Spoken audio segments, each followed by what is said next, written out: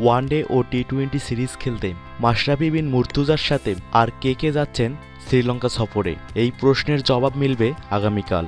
কারণ, লঙ্কানদের বিপক্ষে সীমিত ওভারের সিরিজকে সামনে রেখে আগামীকাল দল ঘোষণা করবে বাংলাদেশ ক্রিকেট বোর্ড বিসিবি। তিন ম্যাচের ওয়ানডে ও দুই ম্যাচের টি টোয়েন্টি সিরিজ খেলতে মাশরাফির যাওয়া প্রায় নিশ্চিত। তবে তার সাথে ঢাকা থেকে আর কে কে যাচ্ছেন সেটাই এখন দেখার বিষয়। আনুষ্ঠানিক দল ঘোষণার আগে দলের সম্পর্কে আগাম কিছু বলতে নারাজ জাতীয় দলের নির্বাচকরা। তবে যতটুকু ধারণা, তাতে মনে হচ্ছে ওয়ানডে ও টি টোয়েন্টি সিরিজ খেলার জন্য মাশরাফির সঙ্গী হতে পারেন নুরুল হাসান সোহান। লিটন দলে ঢোকায় সর্বশেষ নিউজিল্যান্ড সফরে ভালো খেলা সত্ত্বেও শ্রীলঙ্কার বিপক্ষে টেস্ট সিরিজ থেকে বাদ পড়েছেন সোহান। টেস্টের পরেও যদি লিটন থেকে যান, তাহলে সোয়ানের যাওয়ার সম্ভাবনা কমে যাবে। ওয়ানডে ও টি টোয়েন্টি সিরিজ খেলার জন্য মাশরাফির সাথে ঢাকা থেকে আর কেউ যাবে কিনা তা আগাম বলতে চান না প্রধান নির্বাচক মিনাহাজুল আবেদিন নান্নু।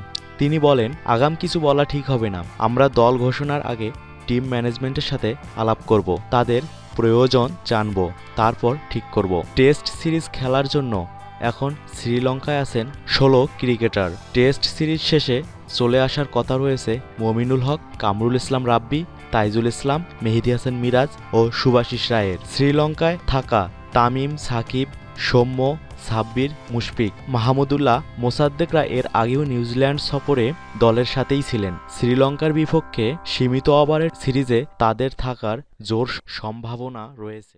আমার নিউজটি যদি আপনাদের ভালো লেগে থাকে তাহলে দয়া করে লাইক কমেন্ট শেয়ার করবেন। আর দয়া করে সাবস্ক্রাইব করতে একদম ভুলবেন না।